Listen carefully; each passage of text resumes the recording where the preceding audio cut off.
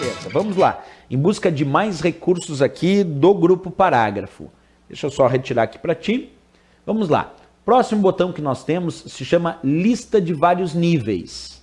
Para explicar esse botão chamado lista de vários níveis aqui do grupo parágrafo, nós vamos selecionar e deletar esses dois parágrafos. E agora eu vou ativar o botão lista de vários níveis escolhendo um de seus padrões. O botão lista de vários níveis possui padrões tanto para marcadores como para numeração.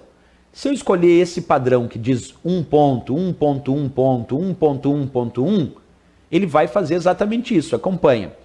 Cliquei e agora eu digito aulas. Quando eu der Enter, obviamente vai surgir então o nível 2. Vamos lá, Enter. Então aí ficou 2, que é a próxima numeração.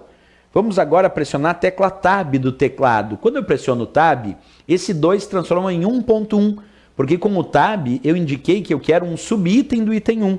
Por isso chama lista de vários níveis, porque tu vai construindo níveis diferentes. E nesse outro nível eu vou digitar curso. Se eu der Enter agora, vira 1.2. E ali eu vou digitar então a palavra concursos. Beleza. Agora percebe que acabei de construir então o que nós vamos chamar de lista de vários níveis. Em vez de fazer só um, dois, três, quatro, a lista de vários níveis te permite fazer um depois 1.1, 1.2, 1.3, depois 2, 2.1, 2.2, 2.3. E aí essa lista de vários níveis tu pode escolher qual é o padrão. Como eu disse, ou ela é associada à numeração ou associada a marcadores. Vamos observar isso na prática de novo. Eu poderia ter selecionado essa minha lista de vários níveis e agora, em vez de escolher um padrão de numeração, escolho um padrão de marcadores. Observa que agora, para cada nível, eu tenho marcadores diferentes. Essa é a ideia que a gente tem então da lista de vários níveis. Repetindo, ela pode ser usada tanto para padrões de numeração, como a lista de vários níveis pode ser usada também para padrões de marcadores, como a gente viu na prática, ok? Vamos lá, continuando, tem mais e mais recursos.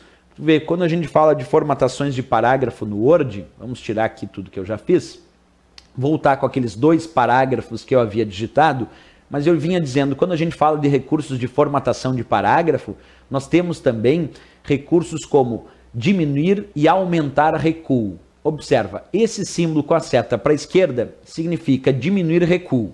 E esse símbolo que tem a seta apontando para a direita se chama aumentar recuo. Cada vez que eu clicar nesse botão aumentar recuo, ele vai aumentar o recuo do parágrafo onde se encontra o cursor ou do parágrafo selecionado. Exemplo, Nesse meu caso, o cursor está no primeiro parágrafo. Então, cada vez que eu clico no botão aumentar recuo, uma, duas, três vezes, percebe que ele foi aumentando o recuo do primeiro parágrafo, porque o cursor estava no primeiro parágrafo. Se agora eu clicar no botão diminuir recuo, cliquei uma, duas, três vezes, ele está diminuindo o recuo do parágrafo onde se encontra o cursor. Eu também poderia ter selecionado. Nós podemos, por exemplo, selecionar esse segundo parágrafo e agora clicar no botão aumentar recuo. Cliquei, cliquei, cliquei. Cada vez que eu aumentei recuo, ele aumentou agora o recuo do segundo parágrafo, que era o parágrafo selecionado. Vou clicar agora no botão diminuir recuo. Cliquei, cliquei, cliquei. E ele então está diminuindo o recuo deste parágrafo selecionado. Essa é a ideia. Quando a gente fala de botões de recuo, como é o caso do botão que permite aí aumentar ou diminuir o recuo, esse tipo de botão ele é relacionado ao parágrafo ou aos parágrafos selecionados. Mas percebe que nem sempre eu preciso selecionar todo o parágrafo para aumentar ou diminuir o recuo. No caso, eu te mostrei um exemplo onde eu simplesmente coloquei o cursor no primeiro parágrafo, fui aumentando o recuo e ele foi aumentando o recuo desse parágrafo onde se encontrava o cursor. Então não há obrigatoriedade de selecionar todo o parágrafo para realizar as operações de formatação de parágrafo, como o caso dos recuos, certo?